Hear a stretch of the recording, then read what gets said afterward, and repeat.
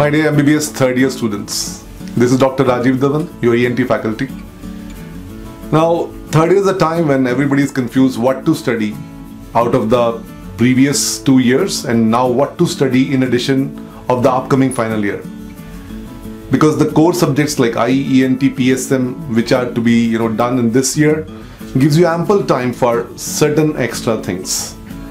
I have few humble suggestions for all of you.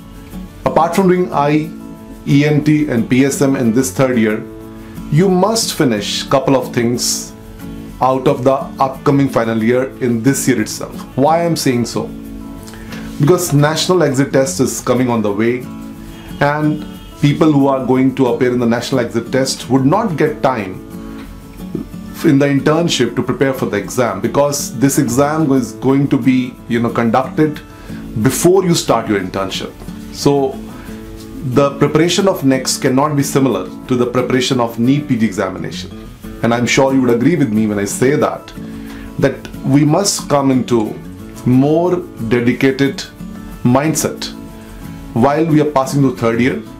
And as we enter the final year we are able to do the remaining content and we're going to revise the already done content as well. So couple of things you need to finish right now out of the medicine subject. What are they? Number one please finish cardiology. And when you do cardiology do cardiac anatomy and cardiac physiology and certain chapters of your pharmacology like antihypertensives and antiarrhythmics also. Number two please do neurology. Along with that you do the neuroanatomy and the neurophysiology. And out of pharmacology please do cover anti-epileptic drugs. Now third topic which i would want you to finish is of course rheumatology. In rheumatology you are supposed to read the immunology also along with it. Similarly you should be now focusing on upper limb lower limb anatomy.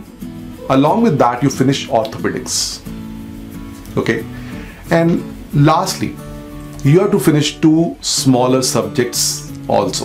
What are they it would be great in case you can finish skin and psychiatry in the third year itself. I know i'm suggesting you to do a lot out of the final year in your third year only.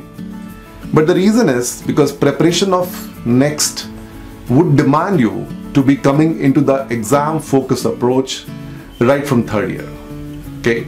So when new things start the approach has to change and that is a human evolution you know survival of fittest. So let us anticipate what change is coming.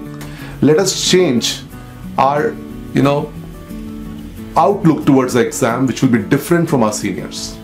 Okay?